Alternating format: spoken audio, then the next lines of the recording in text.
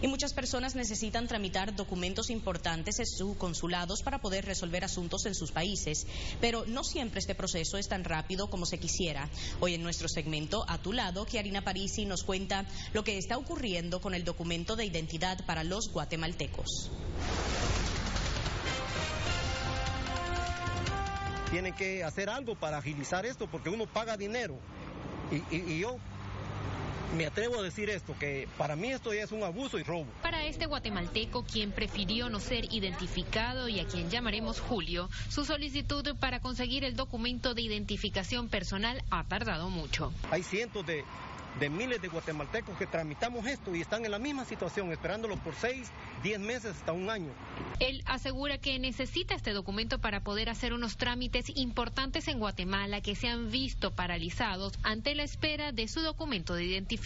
Conversamos con el cónsul general de Guatemala, quien nos explicó lo que ocurre con este trámite. La recomendación es que las personas que realmente les urge ese documento vengan con mucho tiempo de anticipación, porque lamentablemente no es tema del consulado el, el no entregárselos inmediatamente, sino es un procedimiento que el Registro Nacional de las Personas tiene en Guatemala. Además, comentó que algunas personas pueden directamente solicitar la identificación en Guatemala si tienen previsto viajar lugar.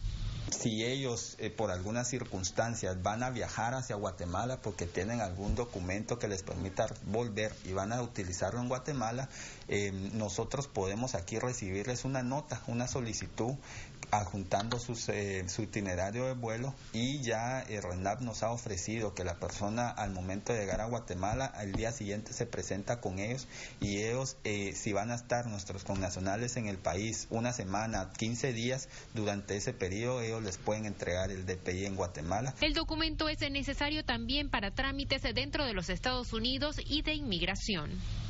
En el 2019 se realizarán elecciones generales en Guatemala, para lo que usted necesitará su documento de identidad si desea votar. Es por esto que se recomienda realizar estos trámites de manera anticipada. Kiarina París y Noticias 34 Atlanta. Gracias, Kiarina. Y usted puede verificar el estatus de su trámite a través de la página en internet que ve en pantalla. Además, recuerde que para solicitar el documento en el consulado debe pedir una cita. Y en más temas relacionados a la inmigración,